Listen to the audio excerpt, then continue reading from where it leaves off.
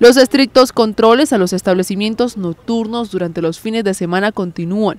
La Policía Nacional señala que es un trabajo permanente que seguirán adelantando para lograr garantizar la seguridad en este horario donde mayormente se registran hechos de inseguridad. Hemos evidenciado que mucha de la delincuencialidad se está disparando precisamente los fines de semana cuando se activa la vida nocturna, eh, nosotros permanentemente, permanentemente vamos a seguir con estas actividades de control a los lugares de recreación nocturna, a los lugares eh, que presentan venta y expendio de licores. Entonces vamos a seguir haciendo estos controles de forma mucho más agresiva, mucho más fuerte permanentemente.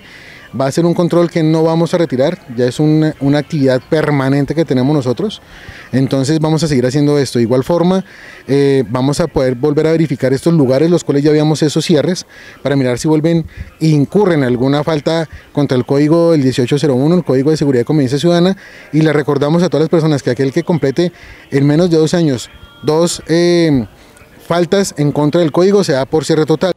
En ese sentido, señala que viene trabajando toda la institucionalidad para también evitar los hechos que se registran en la vía pública donde están ubicados estos establecimientos.